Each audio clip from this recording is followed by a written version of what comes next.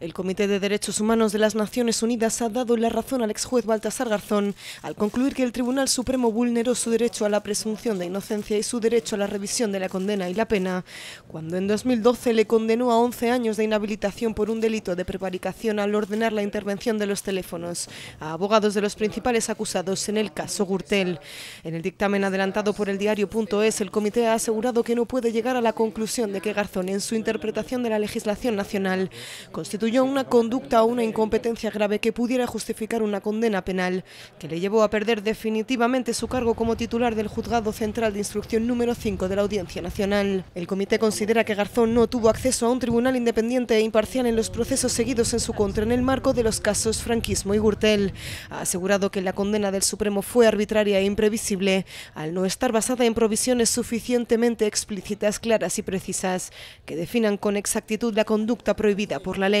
Según el dictamen, el Estado parte tiene la obligación de borrar los antecedentes penales del autor y de proporcionarle una compensación adecuada por el daño sufrido. El comité ha indicado que España tiene también la obligación de adoptar medidas para evitar que se cometan violaciones semejantes en el futuro.